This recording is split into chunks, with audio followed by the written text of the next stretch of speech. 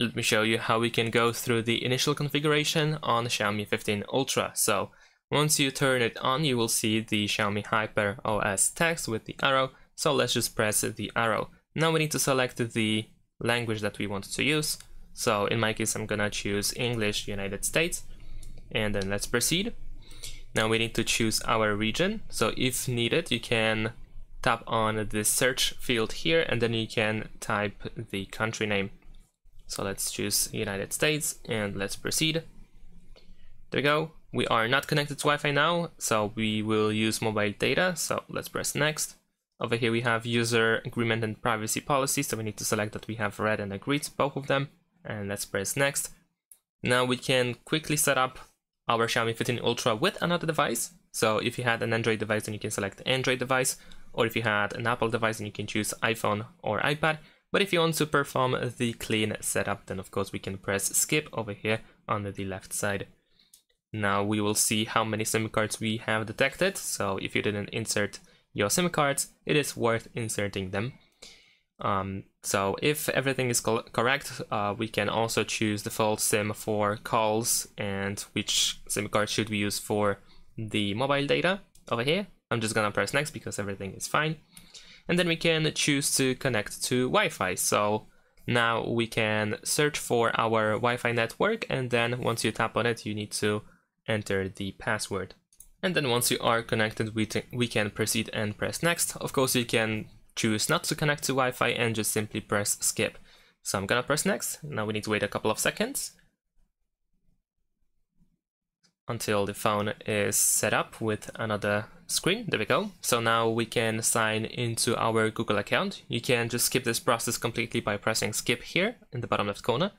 Otherwise, of course, we can just enter our email or phone number.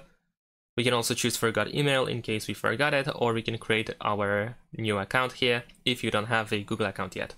And in case you want to sign in, then of course you need to provide the password and then press next, or if you forgot the password, you can still try to recover it. In case you sign in, then you need to agree to Google Terms of Service, so press agree.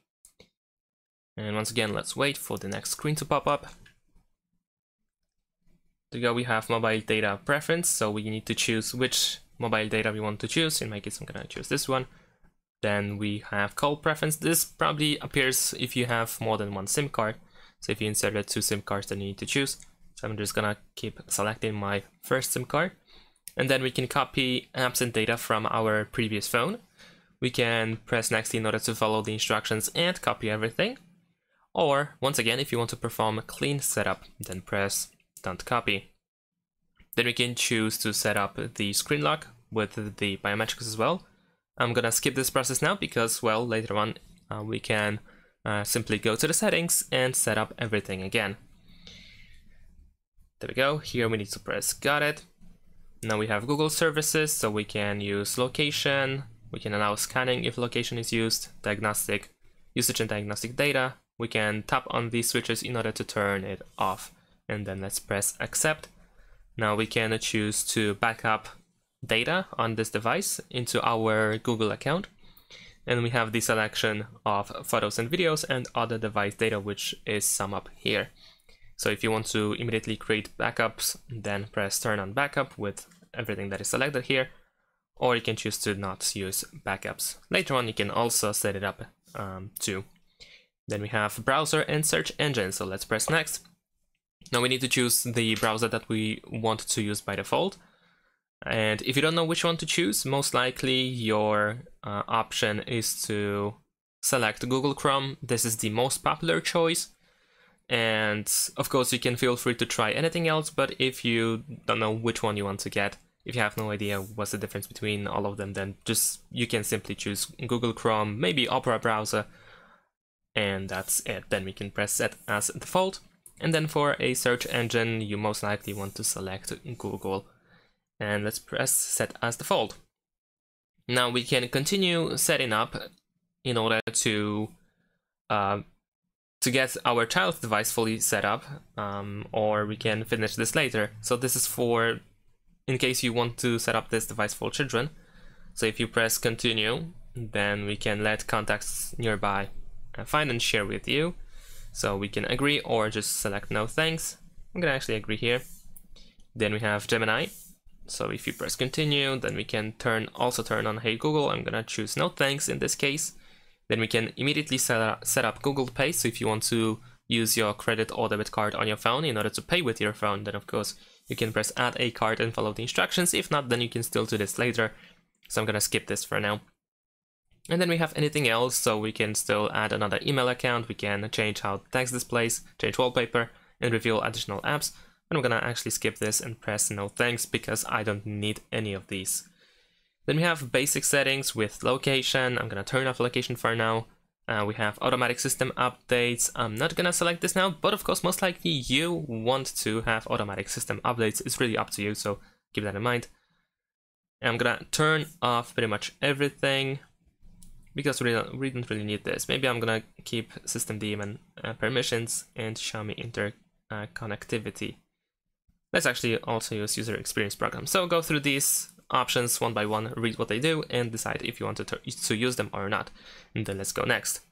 Then we have parental controls. I don't really want to turn them on, but if in case you do, then of course you can uh, turn it on over here and then proceed.